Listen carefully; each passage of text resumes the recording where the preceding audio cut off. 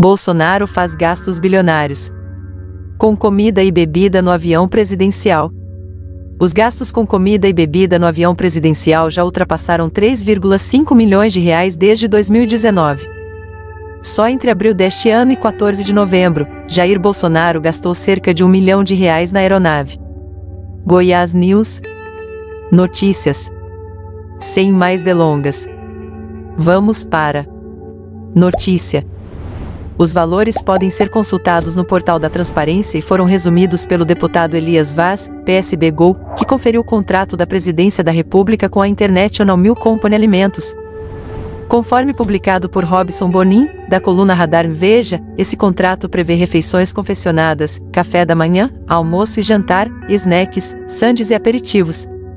O serviço é prestado por licitação e o contrato foi prorrogado várias vezes. O deputado questionou os gastos com alimentação por um homem simples, que come farofa na rua, que gosta de macarrão instantâneo e leite condensado.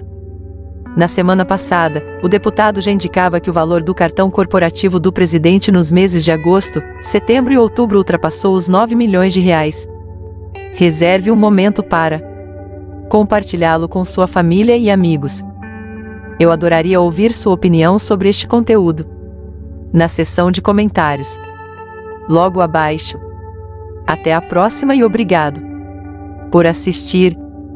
A grande verdade é que, enquanto 33 milhões de brasileiros passam fome, Bolsonaro está se refestelando com banquetes no avião. É revoltante, enfatizou Vaz.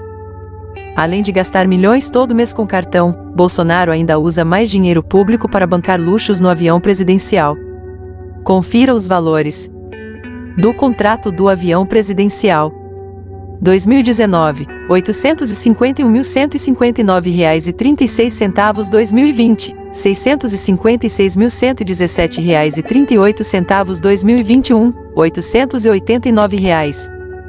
383,37 2022, R$ 1.183.459,95, até 14 11, total, R$ 3.580.320,06.